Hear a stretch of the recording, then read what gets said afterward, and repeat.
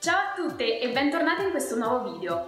Oggi non vedrete il classico video di esercizi, ma un tutorial sui piegamenti.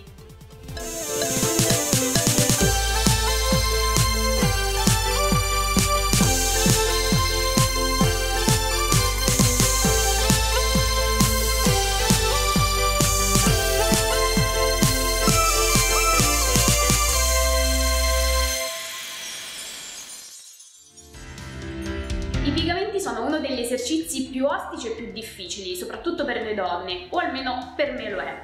Quindi ho pensato con questo video di illustrarvi un percorso step by step su come eseguirli, partendo dalla soluzione più semplice fino ad arrivare alla soluzione che tutti siamo abituati a vedere, ossia i piegamenti su solo appoggio di mani e piedi. Prima di iniziare vi ricordo di iscrivervi al canale e di attivare la campanella delle notifiche. Iniziamo con il primo step, quello di eseguire i piegamenti su un rialzo che può essere il muro o una sedia o anche il tavolo. Ovviamente l'esecuzione diventa più difficile a mano a mano che il rialzo diventa più basso. Quindi se non siete abituati a fare dei piegamenti vi consiglio di partire con un rialzo più alto che può essere il muro.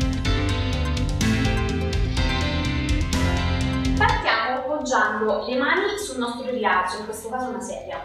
Ci mettiamo in posizione assicurandoci di avere il bacino in retroversione e non in questo modo, quindi addome contratto. Da qui iniziamo piegando i gomiti. La cosa importante è che i gomiti vadano indietro e non all'esterno in questo modo.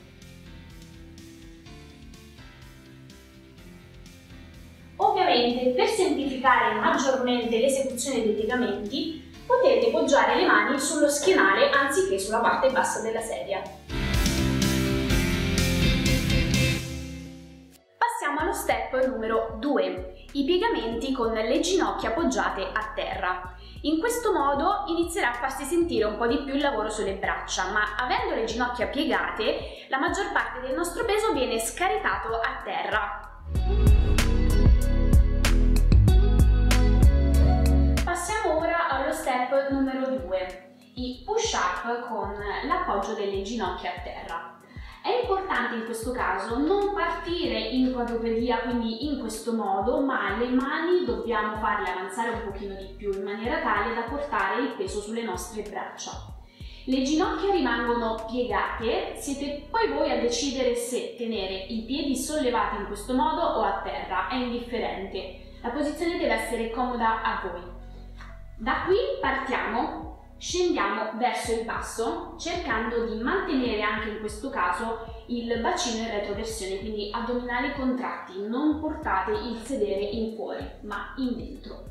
Anche la cervicale gioca un ruolo chiave, quindi non tenete la testa troppo alta né ciondolante giù verso il basso, ma deve rimanere neutra. Quindi guardate un punto davanti a voi e piegate giù. Ovviamente decidete voi quanto piegare. L'idea sarebbe quella di arrivare con il petto più in basso possibile. Step numero 3. Push up in sola fase eccentrica. Iniziamo in questa fase a condizionare un po' di più il nostro corpo. La posizione di partenza è quella della posizione plank, quindi con il solo appoggio di mani e piedi. Scendiamo fino a toccare con la pancia a terra e ci risolleviamo su con l'appoggio delle ginocchia a terra. Passiamo alla fase numero 3. Piegamenti solo in fase eccentrica. Ci posizioniamo in posizione plank, quindi solo in appoggio di mani e piedi. Da qui Stessa cosa, le mani sono sotto alle nostre spalle, non in avanti, in maniera tale da gravare il più possibile con il nostro peso sulle mani. Da qui scendiamo verso il basso, poggiamo a terra il nostro petto, puntiamo le ginocchia e ci solleviamo su in questo modo. Ritorniamo in posizione di partenza, gli addominali sono contratti, scendiamo giù poggiamo, ginocchio a terra e torno su e ricomincio.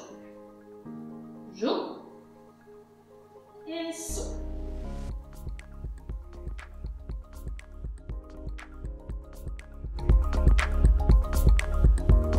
Step numero 4 è praticamente l'esercizio opposto a quello che abbiamo visto prima, ossia i push-up solo fase concentrica. Faremo il movimento contrario, quindi partiremo con le ginocchia appoggiate a terra, scenderemo giù con il petto e la pancia a terra e ci solleviamo verso l'alto con il solo appoggio di mani e piedi. Partiamo con le ginocchia piegate da qui scendiamo con il petto verso il basso, quindi ci appoggiamo, puntiamo i piedi e con le mani vicino al nostro petto ci diamo la spinta per tornare su, in questo modo. Poi torno con le ginocchia appoggiate a terra, piego, punto i piedi e torno su. Questa fase è un pochino più complicata rispetto alla precedente, I gomiti, come sempre, si piegano indietro e non all'esterno. Step numero 5 è l'ultimo step, quello in cui andremo ad eseguire i piegamenti con il solo appoggio di mani e piedi. Passiamo finalmente all'ultimo step, ossia la fase numero 5, quella in cui andremo ad eseguire il piegamento classico. Quindi L'appoggio è soltanto su mani e piedi. Anche qui addome contratto, cervicale, zona cervicale neutra. Scendiamo giù e torniamo su. La cosa importante qui, non necessariamente dovete arrivare con il petto a sfiorare terra, non è importante, ma anche solo se riuscite a fare mezzo piegamento va benissimo comunque a mano a mano che prendete confidenza con l'esercizio, potete poi osare e scendere un pochino più in basso. Spero che questo video vi sia piaciuto, ma soprattutto che vi sia stato utile. Nel frattempo vi invito a condividerlo con una vostra amica. Noi ci vediamo al prossimo video. Ciao!